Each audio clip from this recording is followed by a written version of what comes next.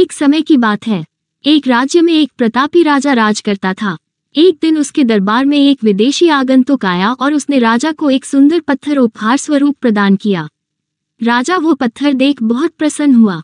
उसने उस पत्थर से भगवान विष्णु की प्रतिमा का निर्माण कर उसे राज्य के मंदिर में स्थापित करने का निर्णय लिया और प्रतिमा निर्माण का कार्य राज्य के महामंत्री को सौंप दिया।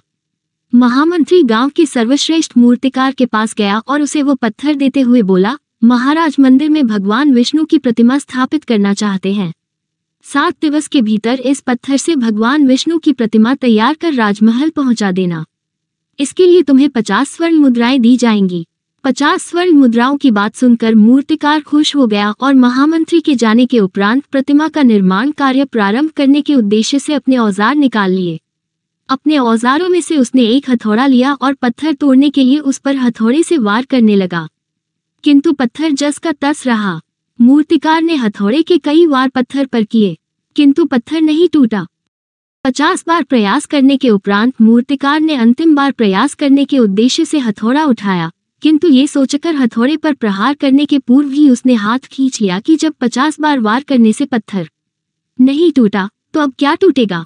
वो पत्थर लेकर वापस महामंत्री के पास गया और उसे ये कह वापस कराया कि इस पत्थर को तोड़ना नामुमकिन है। इसलिए इससे भगवान विष्णु की प्रतिमा नहीं बन सकती। महामंत्री को राजा का आदेश हर स्थिति में पूर्ण करना था। इसलिए उसने भगवान विष्णु की प्रतिमा निर्मित करने का कार्य गाँव के एक साधारण से मूर्तिकार को सौंप दिया। पत्थर लेकर मूर्तिकार ने महामंत्री के सामने ही उस पर हथौड़े से प्रहार किया और वो पत्थर एक बार में ही टूट गया। पत्थर टूटने के बाद मूर्तिकार प्रतिमा बनाने में जुट गया।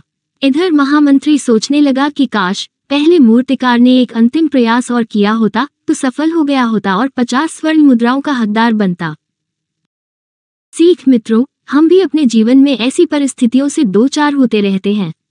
कई बार किसी कार्य को करने के पूर्व या किसी समस्या के सामने आने पर उसका निराकरण करने के पूर्व ही हमारा आत्मविश्वास डगमगा जाता है और हम प्रयास किए बिना ही हार मान लेते हैं। कई बार हम एक दो प्रयास में असफलता मिलने पर आगे प्रयास करना छोड़ देते हैं।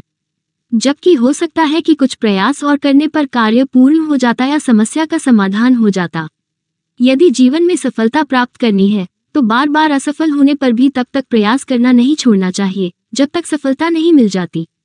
क्या पता, जिस प्रयास को करने के पूर्व हम हाथ खींच ले, वही हमारा अंतिम प्रयास हो और उसमें हमें कामयाबी प्राप्त हो जाए।